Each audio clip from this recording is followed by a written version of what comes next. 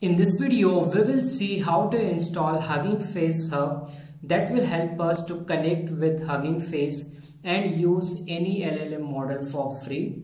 In Google, we have to type install Hugging Face Hub and then you have to click on this third option PyPI.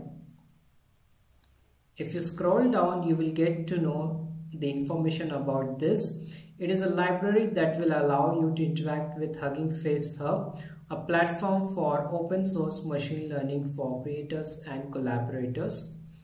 Then we are going to click here to copy it and in Windows you have to type CMD and then you have to paste it. To paste it you just have to right click here and then press enter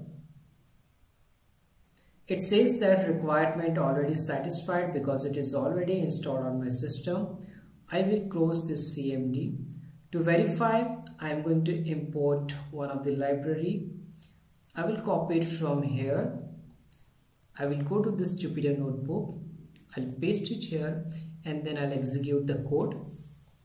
And this has been imported. That means we have installed Hugging Face Hub on my machine.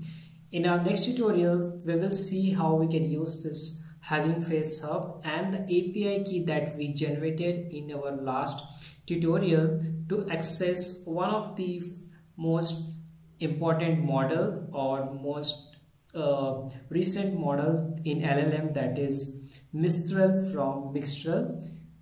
I hope you enjoyed this video. If you like my video, you can subscribe to my channel. Thank you for watching.